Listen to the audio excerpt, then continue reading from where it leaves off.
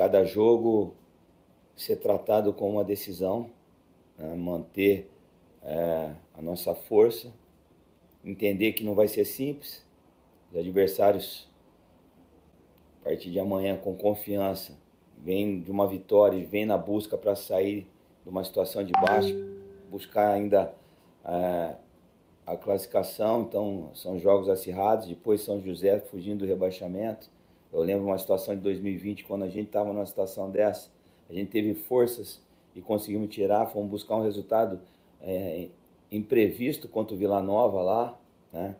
Então a gente tem que ter respeito com todos os adversários, mas entender que será assim de, de extrema importância, fundamental mantermos esse aproveitamento né, dentro de casa para obter e aproximar dessa, desse segundo passo nosso na competição, que é a classificação.